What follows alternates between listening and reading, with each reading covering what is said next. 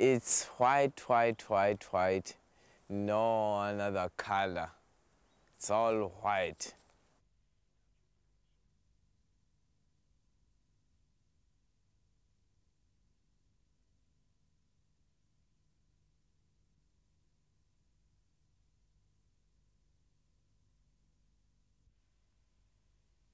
He is scared.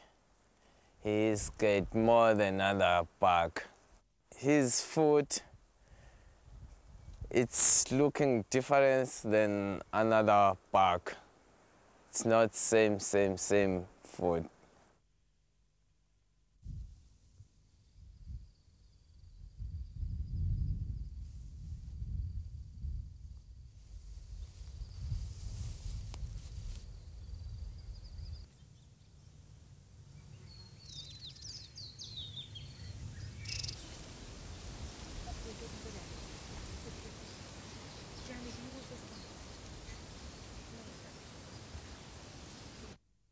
No, I've never seen an albino bushbuck. I think it's an albino bushbuck. We'd have to get closer to it to examine the eye pigment, which should be red if it's a true albino.